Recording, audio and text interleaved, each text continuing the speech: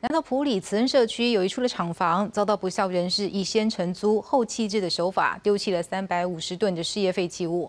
环保局评估哦，这清运的费用需要五千万，而检警已经追查到了行为人，要求处理。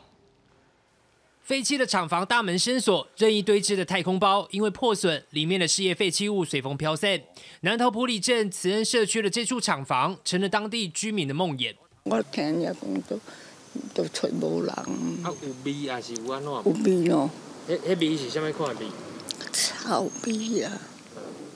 计一种烂堆臭吼。会弄弄倒落啊。弄倒落啊。嘿。捞出来啊。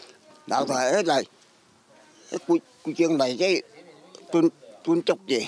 南投环保局表示，二零一九年八月间，有不肖人士在当地承租一处厂房，在室内外堆置大量事业废弃物。经民众检举，环保局会同警方屋主稽查，发现大批塞入废塑胶、轮胎粉料的太空包，以及上百桶的炉渣化学溶剂，总重超过三百五十吨，但承租人早已不见踪影。太空包经过两年多来日晒雨淋，早已严重破损。环保局评估，这批事业废弃物要完全清运，处理的金额高达五千万元。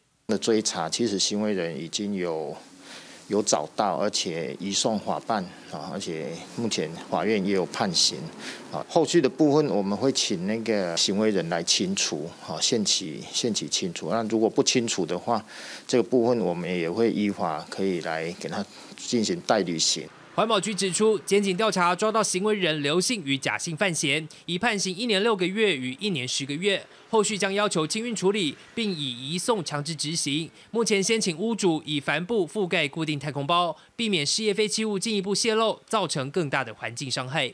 记者蜜蜂彭安群南投报道。